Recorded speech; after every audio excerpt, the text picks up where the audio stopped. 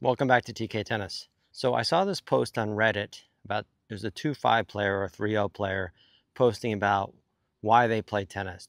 And it reminded me of a video I wanted to do about why I play tennis and maybe why you should too. In the comments, I'll list my five reasons and then maybe you can list the reasons that you play tennis. The first one is therapeutic reasons. Being able to control this fuzzy little tennis ball. There's something incredibly therapeutic but at times also frustrating about being able to control this tennis ball. In life, there's a lot of things we don't have control over.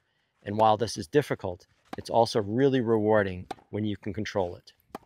My second reason is a little more straightforward. I also rely heavily on tennis for my fitness. And sometimes if you're playing matches all the time or competing all the time, you don't get as much fitness. Points are slow. Sometimes you don't have many great points. So at the bottom line, every time I want to leave the tennis court, I want to know I had a really good workout. Yeah. So I don't really care if my opponent misses the shot or makes the shot every time or misses it. I want to try and track down every ball I possibly can for fitness and to help improve my footwork. When I leave the tennis court, I want to make sure I had a really good sweat and it was part of my fitness routine. My number three reason is physical coordination and mental acuity. So tennis requires a lot of coordination. And you might think if you're a young player and you're watching this and you're even in your teens, well, I'm coordinated. Tennis doesn't give me that much coordination. Sure it does. Being able to hit a serve in, in a coordinated, smooth fashion is not easy for any human being, is not natural, or a forehand or backhand or anything else. So being able to train your muscles to hit a particular kind of shot and increase your skill and improve your physical coordination. Along with that is mental acuity, being able to interpret the ball's bounce, its spin, where's it going to be when it gets to me, how do I need to move to the ball, increases mental acuity by a great deal. There's been several studies done that show people who play racket sports live longer. And that's due to the mental acuity of being able to take in all the information of a tennis ball coming at you and being able to stay sharp. My number four reason is social and family bonding. Tennis is relatively a social sport and getting out with friends or family and enjoying yourself is part of the tennis experience. And when you're working together to rally or you're competing, that type of social connection and family bonding is really valuable to me. The number five reason is pretty simple, is enjoyment and fun. Playing tennis is fun and enjoyable. It's just that simple.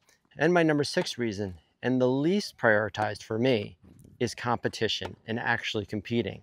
And that may sound weird. And this is the one I want to spend most of my time focusing on. Is where I think that most people may be thinking about tennis, maybe not in the right way. Competition is fun. I enjoy playing games to 11 or playing sets as much as anyone. But what I enjoy more are those other things, being able to rally being able to improve my skill. And I think a lot of people play tennis for competition to improve some sort of number, whether it's your UTR ranking or your USTA ranking, and be able to say, I'm a 3-5, I'm a 4-0, I'm a 4-5, I'm a 5-0, whatever it may be. I think a lot of people may play tennis and compete so that they can move up to this number that affirms that how good they are at tennis. The problem with competition when you're a little bit older. Competition is fantastic when you're young. It teaches you sportsmanship and fair play, and it also teaches you when you're frustrated and you lose, and all that frustration is character building. So that's a really important part of it. So don't let me downplay competition, especially when you're up and coming as a junior. Competition, of course, is very important, and it also helps with your fitness. But I think a lot of adult players take competition as their number one prioritization in tennis. And I think, in my opinion, or at least that's not why I play tennis for, but I think a lot of people do, and they play in a lot of leagues where they always want to compete. They warm up for five minutes and they immediately want to play a set. And that's to, I want to beat that person. I want to be better than that person. But does that make you really feel better? Yes, when you win, it does. But when you lose, it's also very frustrating and humbling.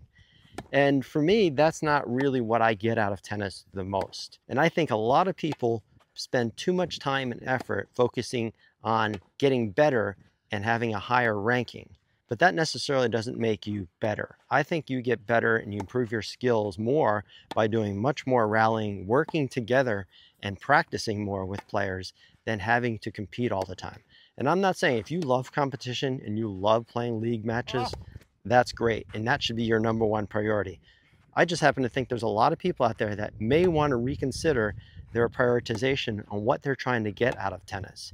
Because as you get older, you're not going to be improving. At some time, you're going to plateau.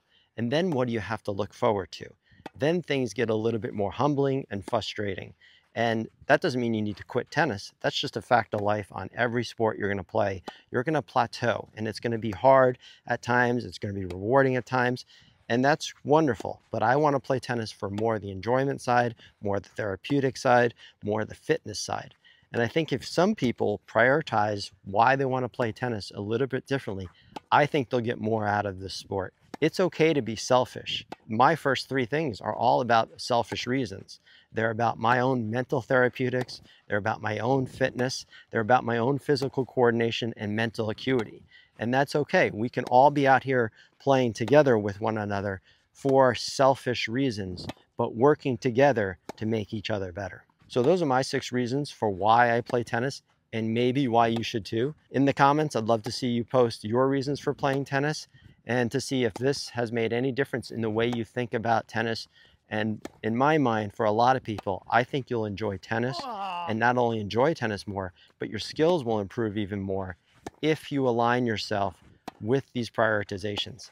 And a matter of fact, if the people you are playing with, if they're only wanting to play competitions and you may not, it might be a good idea to communicate with them and talk to them about what are we trying to get out of this sport? What are we trying and get everybody on the same page and alignment? Because if you can find people that you play with, whether they're family members or friends, and they come out for the same reasons and not having to compete all the time, and you can get a tremendous amount of reward about trying to do a 20 shot cross court rally, a 30 shot cross court rally, 40 shot, and working together and working hard. So even if the ball is out, trying to save that ball and reestablish the rally. Hitting as many tennis balls as possible is how you improve your physical coordination, your mental acuity, and your skills and your strokes. So those are the reasons why I play tennis, and maybe you should too. Thanks for watching.